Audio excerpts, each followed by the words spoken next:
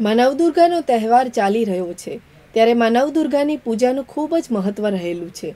ત્યારે અમદાવાદમાં આવેલી જમાલપુર ફૂલ બજારમાં ખૂબ જ ખરીદી માટે ધસારો રહે છે. બજારમાં અલગ અલગ પ્રકારના ફૂલો વહેંચાય છે. પરંતુ ફૂલ બજારમાં પણ મોંઘવારીનો માર રહે છે. તહેવારના કારણે ફૂલની કિંમતમાં વીસથી ત્રીસ ટકાનો વધારો આવ્યો છે.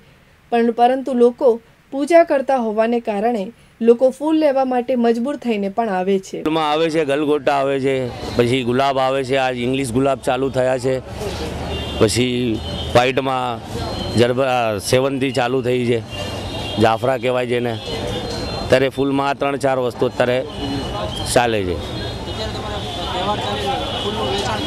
ફૂલનું વેચાણ તો અત્યારે ધરધરકમ ચાલે છે. કેમ કે ગલગોટા ને હાર ને આ તહેવારોના હિસાબે હારમાં થોડું વધારે ચાલે છે. ગણપતિ ગયા પછી આ નવરાત્રિ ચાલે છે માતાજી માટે. હારનું વેચાણ તો વધારે ચાલે છે. થોડા સમય પહેલા ખૂબ વરસાદ પડતા દેશી ગુલાબના ફૂલની આવકમાં ઘટાડો થઈ રહ્યો છે. જેથી અત્યારે ફૂલ બજારમાં વિદેશી ગુલાબ વધારે વેચાય છે. આવતીકાલે આઠમું નોરતું હોવાના કારણે લોકો નવદુર્ગાની પૂજા કરતા હોવાના કારણે વેપારી વધારે પૈસા લેતા હોવાની વાત ગ્રાહકો કરી રહ્યા છે.